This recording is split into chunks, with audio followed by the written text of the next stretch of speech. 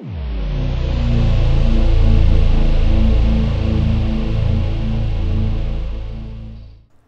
top three natural immune boosters. Olive leaf.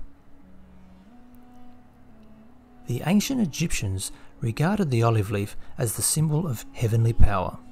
In modern times, the healing powers of olive leaf were discovered in the 1800s as it was used to combat malaria. Olive leaf has powerful antibacterial, antiviral and antifungal properties. Olive leaf will significantly reduce your chances of catching the common cold and flu. 2. Colostrum. Bovine colostrum is the first milk from the mother cow.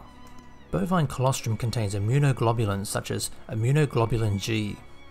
Immunoglobulin G binds to human pathogens and allergens and neutralizes them. Bovine colostrum also contains lactoferrin.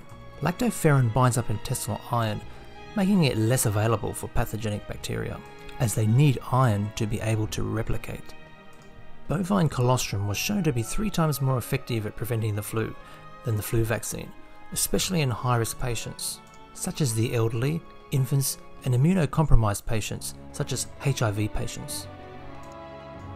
Number 1. Black cumin seed. Black cumin seed, also called Nigella sativa, was another favourite of the ancient Egyptians. It was said to be a cure for all, except death. Black cumin seed and its oil have powerful antimicrobial effects, especially against respiratory tract infections. Black cumin also has bronchodilatory effects similar to those of salbutamol, a medication used to treat asthma. By regularly taking these top three life-saving gifts from nature, you will be able to beat the flu this season and stay well. Thanks for watching and don't forget to subscribe.